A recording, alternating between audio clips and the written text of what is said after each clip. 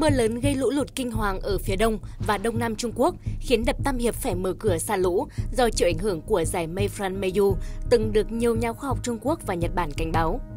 Ông Vũ Đức Long, Phó Giám đốc Trung tâm Dự báo Khí tượng Thủy văn Quốc gia cho biết, trong hai tuần vừa qua, lưu vực sông Trường Giang đã xuất hiện mưa lớn, lũ lịch sử. Theo số liệu lượng mưa thực đo tại các trạm khí tượng phát báo quốc tế trong tháng 6 tại một số tỉnh ở Trung Quốc, tỉnh Hồ Bắc có mưa 300 đến 400 mm, Trùng Khánh, Quý Châu, Quảng Tây có mưa từ 200 đến 400 mm. Đáng chú ý, tại trạm mưa Daugolin thuộc Quảng Tây có lượng mưa đạt trên 600 mm.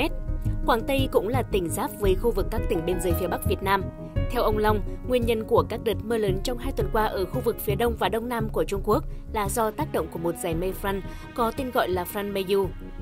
Ông Long nhận định, dù khu vực tỉnh Quảng Tây giáp danh với Việt Nam, nhưng dòng chảy khu vực này có hướng đông bắc, nước lũ sẽ chảy vào khu vực nội địa Trung Quốc, ít có khả năng ảnh hưởng đến các tỉnh khu vực vùng núi phía Bắc nước ta.